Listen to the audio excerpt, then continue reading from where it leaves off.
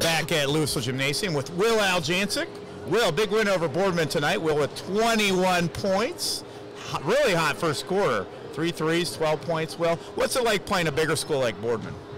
Um, it's a lot more competitive than a Division two or three school. Um, they give us a much better game normally, but Definitely cover a little more ground there. Yeah, yeah. What did you guys, from the first to the second half, I know you guys really, with your turnovers and the press, you guys really change your attack in the second half, did a really good job. yeah, um, we just basically just ran spread, held the ball, and made them come to us. The second half. Good, good. Will and MaxPreps this week who was, I believe, the fifth leading scorer in Ohio with about over 24 points a game. Also leading in threes in the state of Ohio with, I think, 20 coming the game here. Will, Will, what have you done to evolve your game from last year, this year? As you're from sophomore, sophomore, you were an honorable mention all Ohio with about 14 points a game. What'd you work on in particular to try to grow your game?